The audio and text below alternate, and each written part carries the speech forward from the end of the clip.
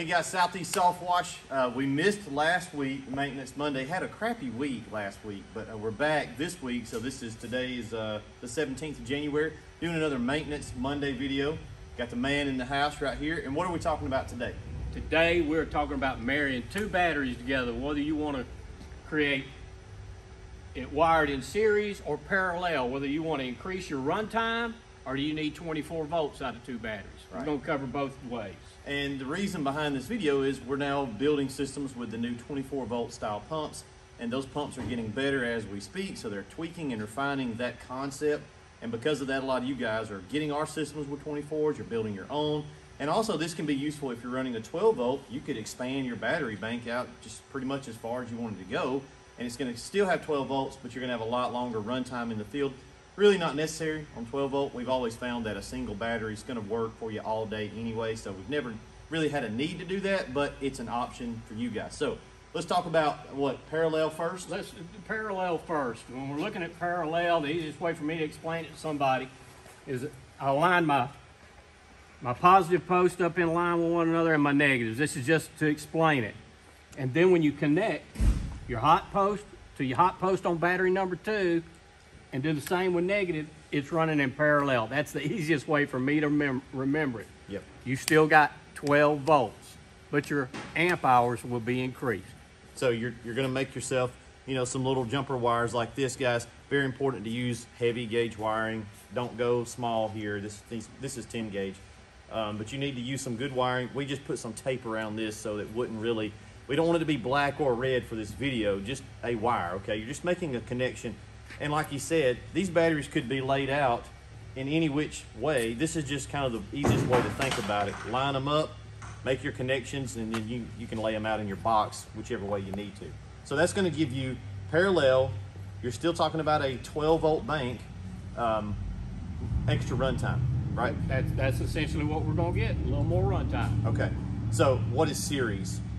When I, when I wear, wire it in series, what I'm gonna do is, rather than increasing my runtime, I'm adding 12 volts and 12 volts and ending up with 24. I'm gonna carry this wire from a hot side on battery number one to the ground on battery number two. I'll do it for you. All right, you got one, I'll give you this side. Okay. And this is obviously, a, you would tidy all this stuff up. It's a little bit long, uh, but just for demonstration purposes. So we're going here, and you can keep doing this. You can get 36 volts, you can get 48, you can go, um, you can basically build a golf cart for what we were talking about earlier. This is how they, they make larger runtime things and larger voltage pulls. There's a whole channels out there, guys. It's pretty interesting where like dads take their kids' little uh, Power Wheels car they got for Christmas that runs off a 12 volt, and they'll make freaking golf cart out of the thing and run it on like a 36 volt bank, put rubber tires on them. It's pretty funny to watch because these little kids are zipping around at 18 miles an hour in a plastic buggy. So we've we've linked positive to the ground on battery two, and what we're going to do is put a meter on it and show you guys what we've got. All right, we'll check it from here. Actually, what we wanna do is, is the two that we haven't connected to are gonna be the ones that we wanna run off of.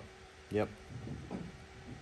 And look at there, 24.6 volts. So what's happening is, is you would make your connection to your pump here and here out to your, your power, what you're trying to power. So the voltage is flowing boom, boom, boom, and out to the device, right? So that's 24.6 volts. But You still have the availability of 12 volts here if you've got a 12 volt system.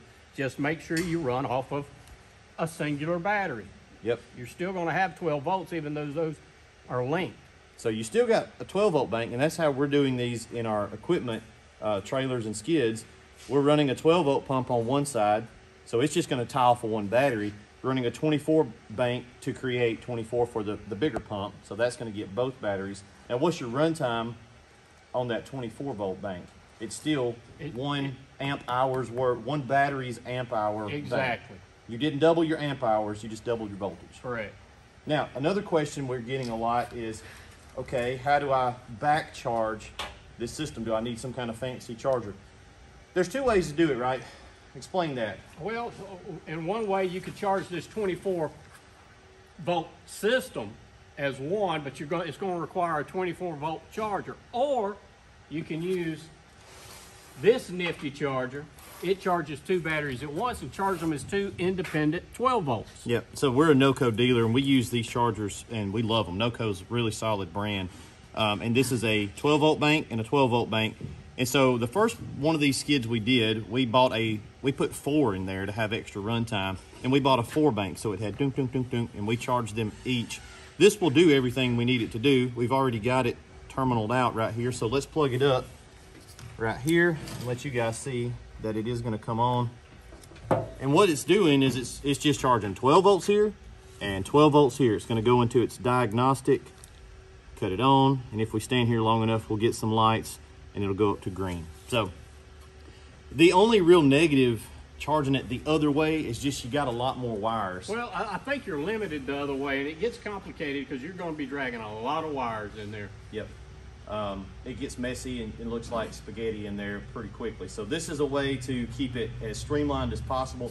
The only negative drawback here for our purposes is we don't have a huge bank on the 24 volt side and it's pulling a lot of juice. So what we're experimenting with, we got some coming, is some lithium battery packs to keep the simplicity uh, and the cleanness of the, the run on all the wiring, but get a lot more available runtime.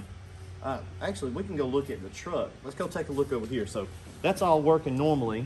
This is our work truck, and it's got a 12, it's got a 24. So we'll let you guys see what it looks like inside the box.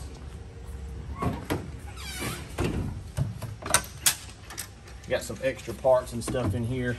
I need a flashlight. Kind of, kind of dark. We'll grab a little light so you guys can see a little bit better. We use Dusty's phone.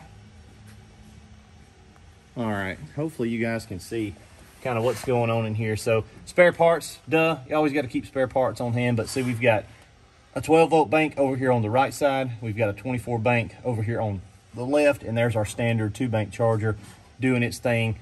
Uh, it's about as clean as you can run all that much wiring. So if we go out any bigger, we could expand and have two more batteries in here and increase our runtime, and we just have a lot more wires in there, which is fine. It ain't a big deal. We just try to make things look clean as possible.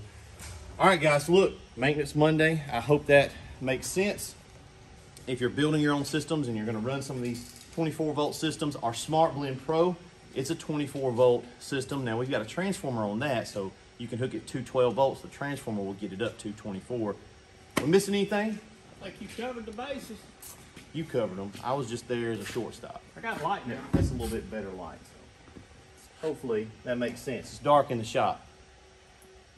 All right, guys, we'll leave it to that. Uh, hope that makes sense and gives you guys some pointers there as far as hooking it up.